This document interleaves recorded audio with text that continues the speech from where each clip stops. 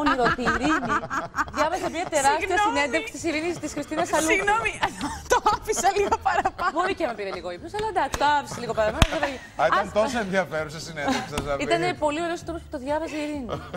Είναι για το μεσημεριανό σας υπνάκο. Ναι, άμα έχετε κοιμηθεί, κακώς ξυπνήστε γιατί έχουμε τώρα Μάρκο Σεφερλί και τα γενέθλιά του.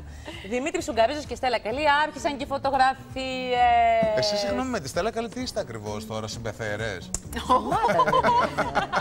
Ε, η Στέλλα είναι η σύντροφος του Τζίμι, που είναι πρώτος ξάδερφο του Ξάδερφος. Βασίλη. Άρα συμπεθέρες. Άρα συμπεθέρες.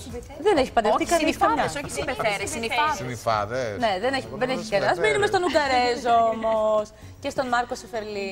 Ο Ουγγαρέζος μαύρος, ε. μαύρος. Να σας ρωτήσω εγώ. Ή αφώτιστος. Να κάνω μια ερώτηση, Κατερίνα. και κύριε Παπανότα μας που είστε πολλά Ορίστε. χρόνια έτσι. Να ρωτήσω κάτι για το χώρο. Γιατί όταν ε, συνεργάζεσαι με κάποιον στην τηλεόραση πρέπει Σόνι και ντε να κάνεις συνέντευξη Αναγκαστικά, παρέα και βέβαια. να